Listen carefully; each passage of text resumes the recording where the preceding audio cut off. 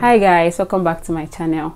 My name is Chinelo and I'm an international student studying MSc Occupational Therapy in the UK. If you're new here, please do not make it your last. Thank you for stopping by and if you're a returning subscriber, hi guys, thank you for always coming back. This really means a lot to me.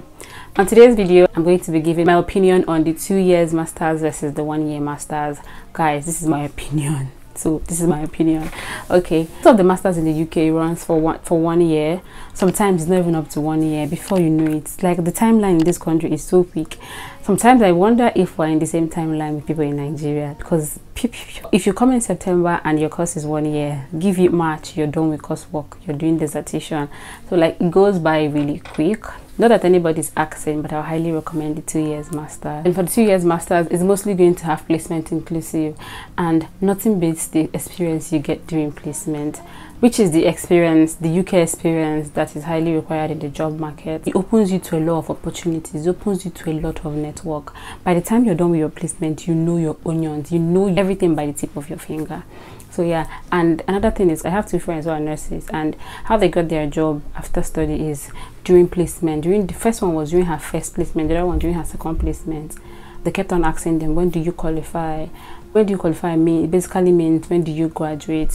When do you qualify? Are you happy to come back? Do you want to work with us? And that's how when she qualified she went back and they took her back so that's it. So it gives you opportunity because you've worked with these people they already know what you can do. So yeah they're always happy to have you back. That's one of the advantage you get with the two years masters. Even though with the post study now when you graduate with the one year masters you can now get a job and then still get the experience you need while on post study which is still almost the same thing. But then if you're coming in and you have the money like you're not looking to work and study or you already have the money to complete your first year school fees then I don't, I don't think you want to consider the two years because you're already going to complete your fee. So if you're looking towards oh you want to do two years because you don't have money to complete your fees then that's two years is going to be advised because it gives you time to pay your fees which can also be a problem because with two-year masters sometimes some universities you have to pay the school fees two times. Let's say you're paying 15,000 pounds or 14,000 pounds or 13,000 pounds you have to pay it for one year and then pay for the other year.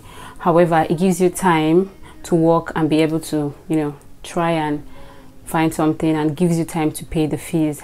Unlike the one year masters before you know it it's april and school they're like where's our money? Give us our money but then if you have the money and everything and then you have the school fees in full then you can just do the one year.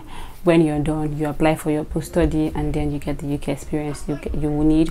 Or you can actually just get a job when you're done and then you take it from there this is not me saying that the two years masters is better than the one year. No it's not. That's not what i'm saying. It's just dependent on you and what you want for yourself. So you just have to plan yourself well before you come in. And another thing i'd like to say is if you're coming in with your family it would be best if you go for the two years masters. Reason is it gives you time for them to settle, time for you guys, for them to get the part-time job they need, time for you to get the money you need because they'll be dependent on your visa. And by the time you're done, if it, if it doesn't get renewed, guys, you're going to go back and you're not going to leave them here. You go back with them. It will be better for you to go for the two years one if you're coming with your family.